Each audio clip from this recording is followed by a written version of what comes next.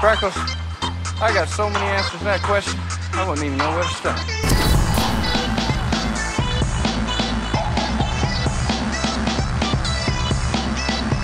Hello, Lost fans. It is me, Seanie B, and today I'm going to try to talk about everything that happened in the 11th episode of season 6 called Happily Ever After. The term happily ever after, as I'm sure most of you guys already know, is at the end of most fairy tales, and it seems to imply here that there will be a happy ending, maybe not just at the end of this episode, but at the end of the entire series. Also, it could imply that this Flash Sideways, and I'll talk a lot more about this, is the happy ending. But for now, time for the Fast Reflex Awards.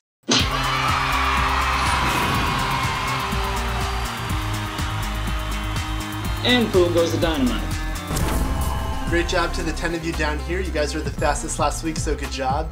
Okay, this episode is really similar to the other Desmond episodes like Flashes Before Your Eyes and The Constant, where it deals with consciousness travel between the timelines. This recap's going to be similar to the Ab Aeterno recap I did a couple weeks ago, where I'm not going to break it up into parts like I usually do, but just recap it as the episode happened. So let's get to it. We start off with Desmond waking up in the Hydra infirmary, yelling for Penny, obviously still thinking he's off the island. Widmore comes and explains to him that he was brought back to the island, which causes Desmond to snap and rough Widmore up a bit. they restrain him, and Widmore yells out, The island isn't done with you, Desmond, just like Eloise told him last season. Jin watches the whole thing and asks Widmore why they brought Desmond back.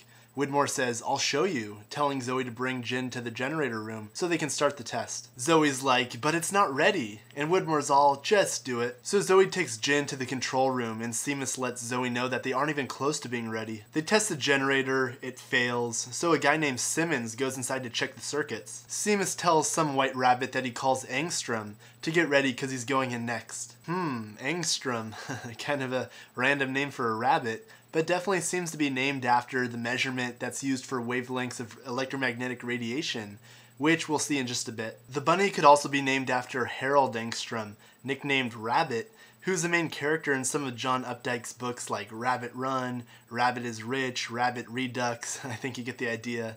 All of those books have themes of redemption, life, and death, obviously major themes in Lost as well. So anyways, some moron decides it would be a good time to see what happens when he pulls down a switch, causing poor old Simmons to get caught in the middle of some shockwaves from the generator. And there's a small blooper here. When they yell for the technician to turn it off, he turns the switch down more instead of up to turn it off, yet it goes off. They all run down and find Simmons fried like bacon when Widmore strolls by, looks at the body, and then tells him to put Desmond inside. Desmond struggles to get free, but Widmore tells him that if everything he's heard about him is true, he'll be fine. He also tells Desmond that he's to need to have him make a sacrifice when the experiment is over. When Desmond says, What do you know about sacrifice? Widmore lets him know that his son, aka Daniel, died for the sake of the island. Back in the control room, Widmore tells Jin that Desmond is the only person he knows of to have survived a catastrophic electromagnetic event, and that if Desmond can't survive it again,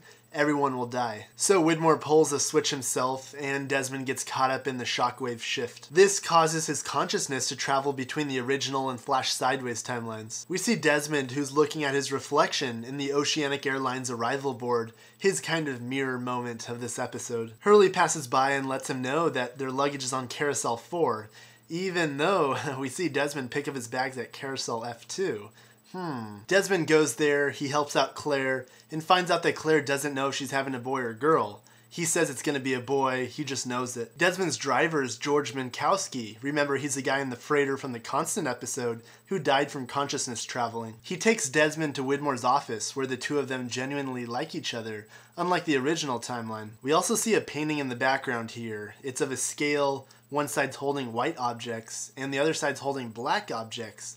Hmm, look familiar? There isn't just one painting here, however. There's actually two. We can see that one has a black frame while the other has a white frame. Interesting. We also see that the scales are evenly balanced. Maybe it's signifying that this timeline is truly balanced. Desmond notices a model of a sailing ship, the same kind Widmore made Desmond use to get to the island in the original timeline. Widmore tells Desmond that his son is a musician, that he wants to combine classical music with rock, and that Mrs. Widmore wants Driveshaft to play with his son at their charity event, but the lead bass guitarist was arrested for drug overdosing. Desmond says that it'll help, so Widmore's grateful and pours him some MacCutcheon whiskey, saying Desmond is worth it, unlike in the original timeline where he said Desmond wasn't worth it. So Desmond goes to the courthouse and Charlie walks outside. He ignores Desmond and walks across the street, uncaring about the cars about to ram into him. They end up in a bar named Jack's, and Charlie knows Desmond isn't happy because he hasn't experienced spectacular, conscious altering love like he claims that he experienced in Flight 815 when he choked on the bag of heroin. He claims that when he choked on the bag of heroin, he saw a blonde woman, aka Claire, and that he saw the truth in everything. As they're driving away from the bar, Charlie wants Desmond to see what he's talking about, so he grabs the wheel and drives off the pier into the water. Desmond gets free and swims up to get his breath, but when he dives back down, Charlie wakes up and stares right at Desmond, putting his palm against the window exactly like he did in the looking glass hatch when he was drowning and he had the Not Penny's boat written on his palm. This causes Desmond to have a vision from the original timeline, but it vanishes and he saves Charlie. So this episode seemed to indicate that near-death experiences can also cause you to experience flashes of the original timeline. Both Charlie and Desmond experienced this when they almost died. For example, remember back to last season when Charlotte was dying and one of her last words were, I know more about ancient Carthage than Hannibal himself?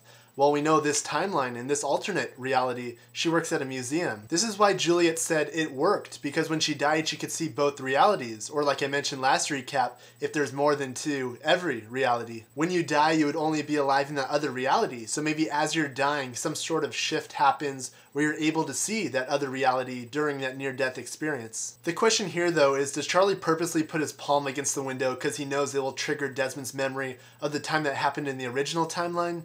I definitely think so because when he does it, he stares at Desmond and then he has that little grin like he knows it. Even though later in the hospital he doesn't remember putting his hand against the window, I definitely think during the time of that near death experience, he sees the truth of the original timeline. It's interesting too. Remember when Desmond saw Charlie in the Flashes Before Your Eyes episode? Charlie's playing his guitar in the street. He's actually singing Wonderwall by Oasis, who a lot of people compare Driveshaft to. The interesting part here, though, is that in the song Wonderwall, there's a phrase in the chorus that goes, You're going to be the one who saves me.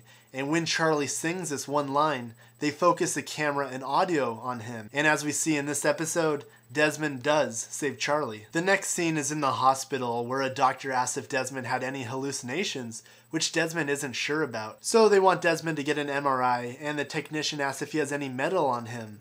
He also is given a panic button, but he's told not to push it which is kind of ironic because as we all know, his job was to push a button in the hatch. When I was watching this MRI scene, I couldn't help but remember the time back in season 1 where Kate ran by the MRI room. Now MRI stands for magnetic resonance imaging, but clearly it said on the sign there, magnetic resonance imagining. Maybe a clue. As the MRI starts up, Desmond immediately sees the vision of Charlie again, showing him the Not Penny's boat message on his hand, and then a bunch of visions of Penny and his love for her, all of these visions coming from the original timeline. He freaks out and leaves the room, looking for Charlie. Desmond finds Dr. Jack and asks him about Charlie, as Charlie runs right past them, trying to escape. Desmond catches up with him and asks who Penny is. Charlie realizes Desmond saw something too and tells him to go look for her. Desmond leaves and he has to tell Mrs. Widmore, who's known for being a dragon, that Driveshaft can't play at the charity event. But when Desmond introduces himself to her,